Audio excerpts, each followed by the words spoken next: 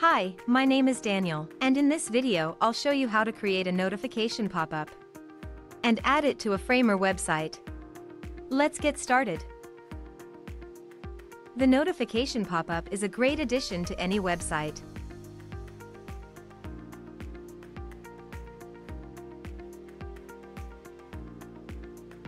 To start, enter Common Ninja website. Choose your widget from our large collection of widgets. And once you've entered the widget page, click on the Create button to enter the notification pop-up editor.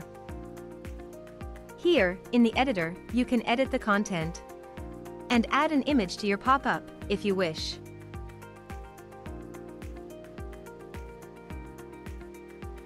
You can select a layout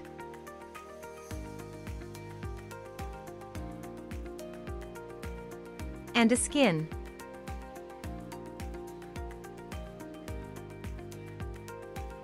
Customize the notification pop-up look and feel.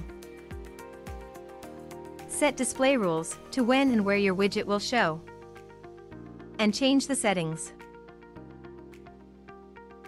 When you're done, click the Save Changes button to save your work. If you don't have an account on Common Ninja yet, you'll have to register first.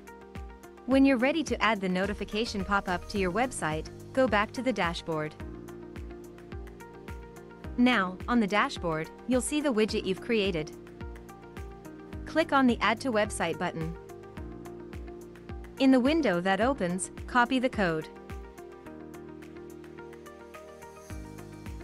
And close the window. Remember, you can always return to the widget and keep on editing it. Now let's head to the Framer website editor. In the Framer editor, click on Insert and in the left panel, under Utilities. Select Embed Component. Drag and place it wherever you wish. In the right panel, in the Component options, select HTML and simply add the widget code you've copied before. And that's it. Now, the notification pop-up will show on your website.